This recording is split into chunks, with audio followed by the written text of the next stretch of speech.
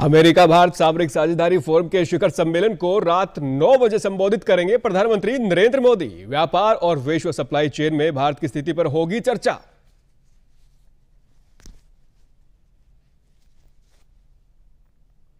राष्ट्रीय शिक्षक सम्मान सब सम्मान से सम्मानित होंगे गुरुग्राम के मनोज लाकड़ा। बिना बिजली के चलने वाला मोबाइल टीवी डिवाइस बनाया, शिक्षा विभाग ने अपनाया उनका mid day meal app.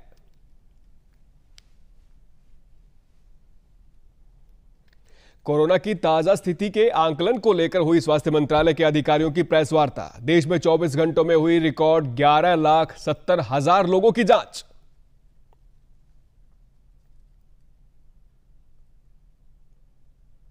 और कोविड 19 के बीच पटरी पर लौट रही अर्थव्यवस्था। अगस्त में यूपीआई और भीम ऐप से हुई रिकॉर्ड एक अरब इकसठ करोड़ ट्रांजैक्शन। नमस्कार, मैं सुरेंद्र कुमार। अब समाचार विस्तार से। प्रधानमंत्री नरेंद्र मोदी आज तीसरे अमेरिका भारत सामरिक साझेदारी फोरम के तीसरे शिखर सम्मेलन को संबोधित करेंगे। सम्मेलन में व्यापार सहित कई क्षेत्रों में सहयोग और विश्व की सप्लाई चेन प्रणाली में भारत की स्थिति पर विशेष ज़ोर दिया जा रहा है। इस पाँच दिवसीय शिखर सम्मेलन में शीर्ष स्तर के राजनीतिज्ञ, वरिष्ठ सरकारी अधिकारी, व्यापार जगत से जुड़े व्यक्ति विशेष भाग ले रहे हैं। इस शिखर सम्मेलन का विषय है US India week navigating new challenges. इसमें कई विषय शामिल किए गए हैं, जैसे एक वैश्विक विनिर्माण केंद्र बनने में भारत की संभावनाएँ, भारत के गैस बाज़ार में अवसर, भारत में एफडीआई आकर्षित करने के लिए इज़ ऑफ़ डूइंग बिज़नेस तकनीक क्षेत्र में समान अवसर और चुनौतियाँ, भारत प्रशांत क्षेत्र के आर्थिक मुद्दे और सार्वजनिक स्वास्थ्य में नवाचार। अमेरिका भारत सामरिक साझेदारी फोरम एक गैर लाभकारी संगठन है, जो भारत और अमेरिका के बीच साझेदारी के लिए कार्य करता है। गुरुग्राम दिल्ली बॉर्डर के गाँव बजघेड़ा के राजकीय वरिष्ठ माध्यमिक विद्यालय के मौलिक मुख्याध्यापक मनोज कुमार लाकड़ा को राष्ट्रीय शिक्षक सम्मान 2020 के लिए चुना गया है। उन्हें नई दिल्ली में शिक्षक दिवस पर सम्मानित किया जाएगा। मनोज कुमार ने ऐसा मोबाइल टीवी डिवाइस बनाया है जिसे बिना बिजली के भी चलाया जा सकता है। ये डिवाइस प्रोजेक्टर का काम करता है। इस डिवाइस में बिजली, कंप्यूटर और स्मार्ट बोर्ड की ज़रूरत नहीं पड़ती। उन्होंने बताया कि उनके मार्गदर्शन में विद्यार्थियों ने मिड डे मील ऐप बनाया है। इस ऐप को हरियाणा शिक्षा विभाग ने अपनाकर सभी स्कूलों में लागू किया है। नौवीं कक्षा के छात्रों की को जो मैंने मार्गदर्शन दिया या मेरे मार्गदर्शन में जो ऐप बनाए गए, उन ऐप्स को हरियाणा शिक्षा विभाग ने अपनाया और सभी स्कूलों में लागू किया। पहला ऐप जो है, वो mid day meal Haryana app था, जिसमें कि मिड डे मील की सारी जानकारियाँ और वो उसकी सारी कैलकुलेशन जो है मात्र कुछ सेकंड में ही आपके सामने आ जाती थी और इस ऐप से बहुत बहुत बहुत ज़्यादा जो है समय अध्यापकों का बचने लगा। मनोज कुमार ने Samagra Mulyankan app, fees register app, fund व स्टॉक रजिस्टर ऐप, स्काउट व guide app, Pragati Path app और सोलर हेलमेट भी तैयार किया है। मनोज कुमार को प्रदेश के शिक्षा विभाग द्वारा कई बार सम्मानित किया जा चुका है। दूसरा ऐप था समग्र मूल्यांकन ऐप। इस ऐप से एक अध्यापक बड़े ही आसानी से ई मार्कशीट जो है जनरेट कर सकता है और उस वो मंथली रिपोर्ट और लास्ट में जो ईयरली रिपोर्ट होती है, ईयरली मार्कशीट होती है, वो उस बच्चे को आसानी से उसके व्हाट्सएप पे या मेल पे या क्या कहते हैं अभिभावकों के जीमेल पे या फ़ोन पे उसको आसानी से भेज सकता है। इससे जो है बच्चा को ये बच्चे को पता लग जाता है कि उसको किस विषय में ज़्यादा मेहनत करने की आवश्यकता है। कोविड 19 के खिलाफ देश में जंग जारी है। कोविड 19 की जाँच में देश में अभूतपूर्व वृद्धि हुई है। पिछले 24 घंटों में 11.7 लाख से अधिक लोगों की कोविड जाँच की गई है। अब तक कुल साढ़े चार करोड़ से अधिक लोगों की जाँच हो चुकी है।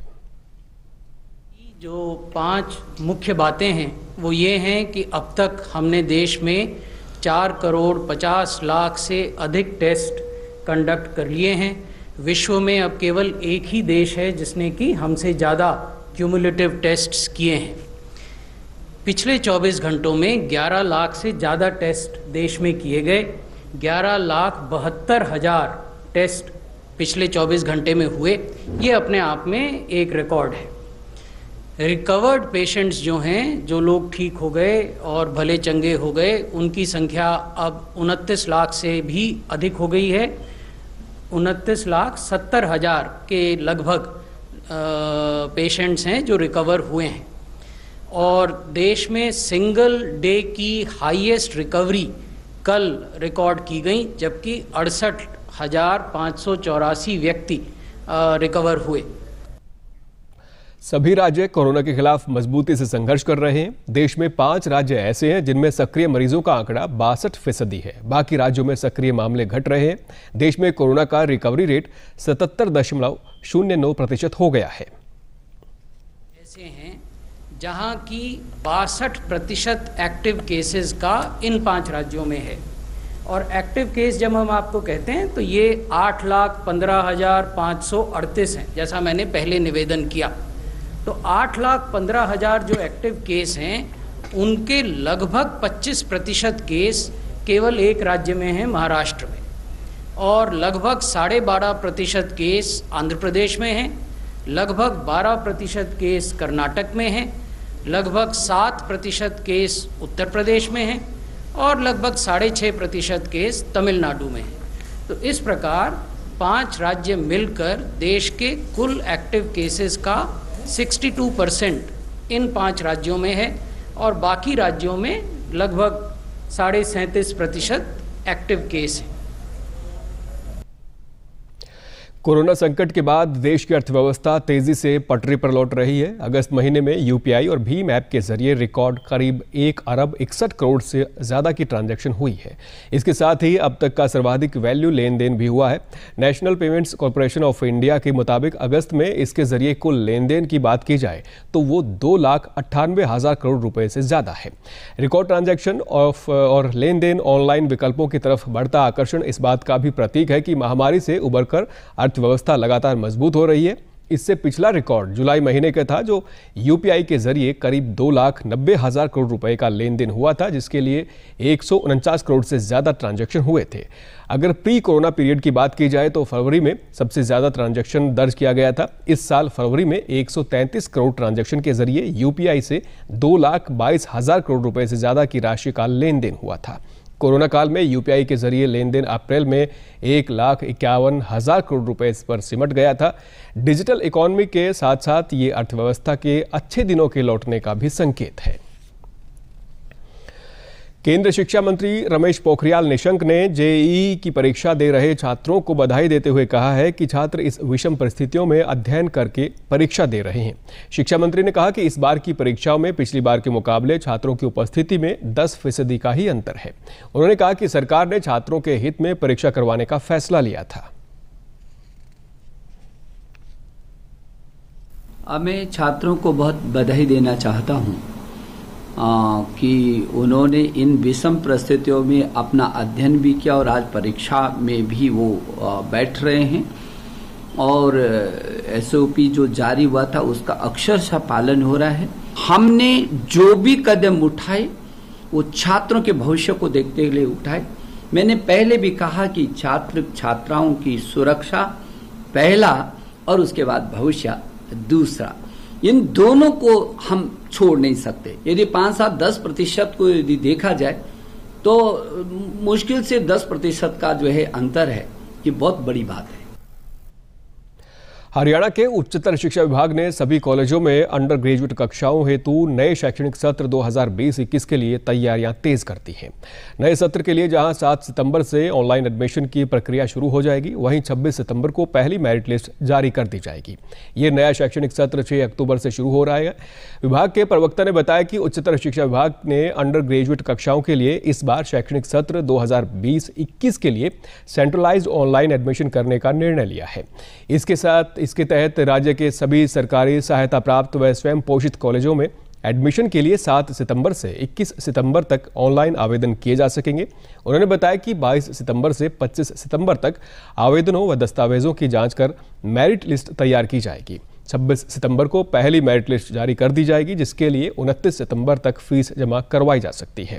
उन्होंने बताया कि दूसरी मेरिट लिस्ट 30 सितंबर को जारी की जाएगी, जिसके लिए 1 अक्टूबर से 5 अक्टूबर तक फ़ीस जमा करवानी होगी। प्रदेश की मुख्य सचिव केशनी आनंद अरोड़ा ने कहा है कि फ़सल अवशेषों को आग लगाने की घटनाओं पर प्रतिबंध के लिए प्रत्येक गाँव पर नज़र रखी जाएगी। फ़सल अवशेषों के प्रबंधों के लिए सरकार द्वारा किसानों को अनुदान पर कृषि उपकरण उपलब्ध करवाए गए हैं। उन्होंने कहा कि इसके बावजूद जो किसान अवशेषों को आग लगाने की कोशिश करेंगे, उन पर कानूनी कार्रवाई की जाएगी। वे आज वीडियो कॉन्फ्रेंस से सभी जिलों के उपायुक्तों व कृषि विभाग के अधिकारियों की बैठक को संबोधित कर रही थी। मुख्य सचिव ने कहा कि हरसैक के उपग्रही चित्रों व रिपोर्ट के अनुसार गत वर्ष फ़सल अवशेषों में आग लगाने की घटनाओं में अड़सठ प्रतिशत की कमी आई थी। इस बार हमें ज़ीरो बर्निंग के लक्ष्य को प्राप्त करना है। कॉन्फ्रेंस के बाद हिसार की उपायुक्त डॉक्टर प्रियंका सोनी ने कृषि अधिकारियों के साथ ज़िले की स्थिति की समीक्षा की। फरीदाबाद के जेसी बोस वाईएमसीए विश्वविद्यालय ने पहली बार विदेशी विद्यार्थियों को दाखिला देने की शुरुआत की है। विदेशी विद्यार्थी प्रवेश के लिए 15 सितंबर तक ऑनलाइन आवेदन कर सकते हैं। कुलपति प्रोफेसर दिनेश कुमार ने शैक्षणिक सत्र 2020-21 के लिए विदेशी विद्यार्थियों का प्रोस्पेक्टस जारी किया। कुलपति ने कहा कि अकादमिक, वैज्ञानिक और सांस्कृतिक सहयोग को बढ़ावा देते हुए विश्व स्तर पर अपनी उपस्थिति दर्ज कराना विश्वविद्यालय की प्राथमिकता है। विश्वविद्यालय ने इंजीनियरिंग पाठ्यक्रमों में पंद्रह सीटें और अन्य पाठ्यक्रमों में पाँच प्रतिशत सीटें विदेशी विद्यार्थियों के लिए आरक्षित की हैं। विश्वविद्यालय में किसी भी पाठ्यक्रम में दाखिला लेने वाले विदेशी विद्यार्थियों को वैध स्टूडेंट वीज़ा या रिसर्च वीज़ा और मूल दस्तावेज़ प्रस्तुत करने होंगे, जिसके बाद बिना दाखिला, उसके बिना दाखिला नहीं होगा। विदेशी विद्यार्थियों का दाखिला योग्यता परीक्षा की मेरिट पर किया जाएगा और इसके लिए अलग से कोई प्रवेश परीक्षा नहीं होगी। इंजीनियरिंग में खासकर ए ने हमें परमिशन दी है कि we can actually admit foreign students और 15 परसेंट सीट्स उनके लिए रिज़र्व की गई हैं। और फ़ीस स्ट्रक्चर भी बहुत ज़्यादा उसमें हाई नहीं है नॉर्मल फ़ीस स्ट्रक्चर है यूनिवर्सिटी का compare if you compare to other with other institutions और ए ने इंजीनियरिंग के लिए दिया है, लेकिन हमने बाकी जो नॉन इंजीनियरिंग कोर्सेज हैं, उसमें भी पाँच परसेंट सीटें फ़ॉरन स्टूडेंट्स के लिए आरक्षित की हैं। प्रदेश से जुड़ी खबरों को विस्तार से जानने के लिए आप हमारे साथ फेसबुक ट्विटर और यूट्यूब के माध्यम से भी जुड़ सकते हैं। हमसे जुड़ने के लिए आप हमारे सोशल मीडिया हैंडल को फॉलो कर सकते हैं। केंद्र सरकार के कार्मिक एवं प्रशिक्षण विभाग ने 20 नए खेलों के एथलीटों को खेल कोटा का लाभ दिए जाने के प्रस्ताव को स्वीकार कर लिया है। केंद्र सरकार के कार्यालयों में प्रतिभाशाली खिलाड़ियों की नियुक्ति के लिए पात्र खेलों की सूची में अब खेलों की संख्या 43 से बढ़कर तिरसठ हो गई है। इसमें mallakhamb tug of war roll ball जैसे स्वदेशी और पारंपरिक खेल शामिल हैं। इस सूची को पिछली बार अक्टूबर 2013 में संशोधित किया गया था। एशियाई खेल व ओलंपिक जैसी अंतर्राष्ट्रीय प्रतिस्पर्धाओं में अच्छा प्रदर्शन करने वाले एथलीटों को खेल कोटे के अंतर्गत फ़ायदा मिलेगा। उत्तर और दक्षिण हरियाणा बिजली वितरण निगम के बिजली उपभोक्ता अब डाकघरों में भी अपने बिजली बिल जमा करा सकते हैं। बिजली निगमों के प्रवक्ता ने बताया कि खासतौर पर ग्रामीण क्षेत्र के बिजली उपभोक्ताओं की सुविधा को ध्यान में रखते हुए ये निर्णय लिया गया है। प्रदेश में डाकघर की दो शाखाएँ हैं, जिनमें से दो हज़ार एक सौ अस्सी ग्रामीण क्षेत्रों में हैं।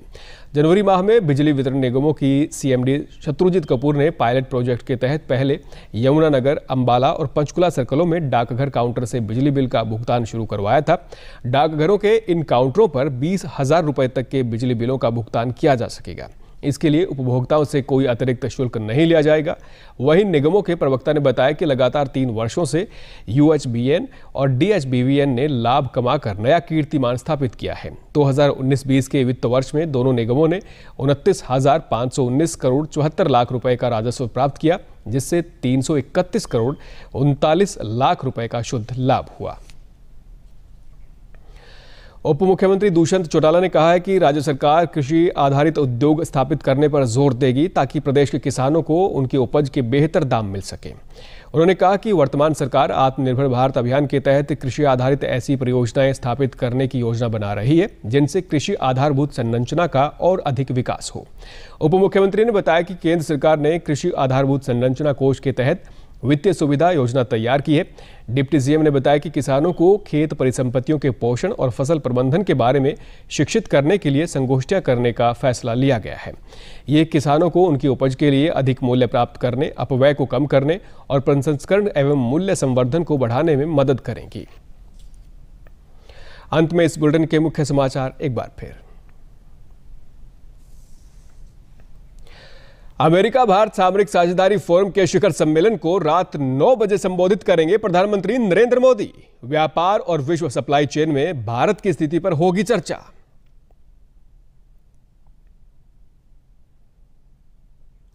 राष्ट्रीय शिक्षक सम्मान से सम्मानित होंगे गुरुग्राम के मनोज लाकड़ा। बिना बिजली के चलने वाला मोबाइल टीवी डिवाइस बनाया, शिक्षा विभाग ने अपनाया उनका mid day meal app.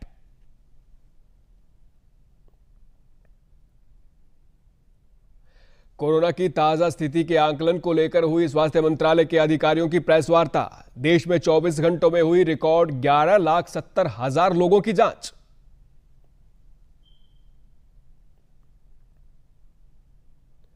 और कोविड 19 के बीच पटरी पर लौट रही है अर्थव्यवस्था। अगस्त में यूपीआई और भीम ऐप से हुए रिकॉर्ड एक अरब इकसठ करोड़ ट्रांजैक्शन।